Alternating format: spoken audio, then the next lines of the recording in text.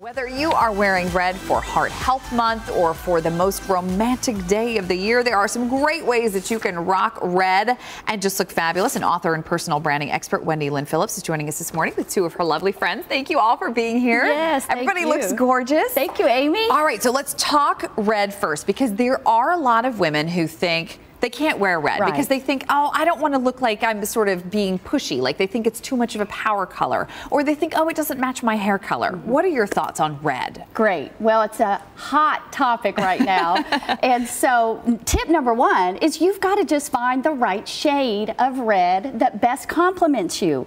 And so, when you're working with warm reds, cool reds, blue reds, firecracker red, and passionate red, and cherry red, the question really is does this complement or compete? Okay. With my natural skin, hair, and eye color. So that's why I brought our two models. Okay, I'm going to show you real quick the difference in a warm red versus a cool red. Okay. Now, warm reds typically have gold undertones, yellow undertones. You can see this is an awesome example of Lisa wearing warm red. So she's got her gold accents here and some gold highlights in her beautiful auburn red hair. And uh, we coupled that with a more casual way to wear red. And remember, re- wearing red doesn't mean head to toe red. Right. You know, it doesn't mean necessarily a bold red dress if that isn't your personality and you aren't comfortable. So just a pop of red, and we'll get to that in a minute. But this Okay. is, a, is an example of warm red. I love it. And That's then, Isn't that great? I know. Thank you, Lisa. And then Tony's modeling our cool version of red. Okay. Cool reds are going to have blue undertones,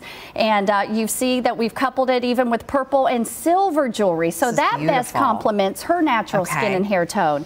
And so whether you're rocking it in a red power dress, whether you're using red as an accent piece, tip number two Okay. is to simply use red as an accent. Because it's all about that pop of color right It now this season. The handbag, the shoe, just whatever it is, that, that pop of color, right? How fun is that? Oh, I Isn't that love that. Oh, that's perfect You know, for Valentine's just Day, using yes. a, a ring, a shoe, a bauble necklace, maybe even a scarf that you could tie around.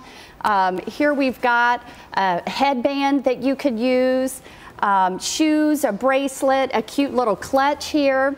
Uh, and a big handbag. So it doesn't matter. There's lots of ways to express your style Right. and do it in a red hot fashion. All right, so Wendy, how do we know what color of red or type we are? Because it all goes down to our lipstick too. I love the shade of red lipstick you have on Thanks. today. But it, how do you know what your color is? What's appropriate for you? Well, typically, this is a tip that I share with my clients. Okay. If you take a manila envelope and a white envelope, and without any makeup on at home, and hold that next to your face, you'll see one of the colors, again, best complements and one competes. Okay. And the wrong shade of red will make you look a little too tired, and it often will bring out the shadows under your eyes. It can make those wrinkles more apparent, and we certainly don't want that happening. Right. So the uh, manila envelope, you know, the golds, that's a warmer version. That color will typically best complement. Okay. Now, if you haven't had an update lately, because your hair color may be changing often, Right. it might be something to do. And as we age and mature, the skin sometimes loses its color and